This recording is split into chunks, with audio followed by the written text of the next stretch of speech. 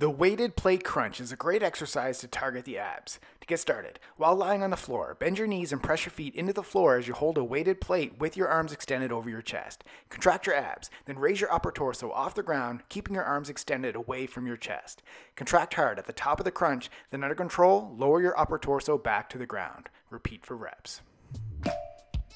Subscribe to get a new exercise video demo every day.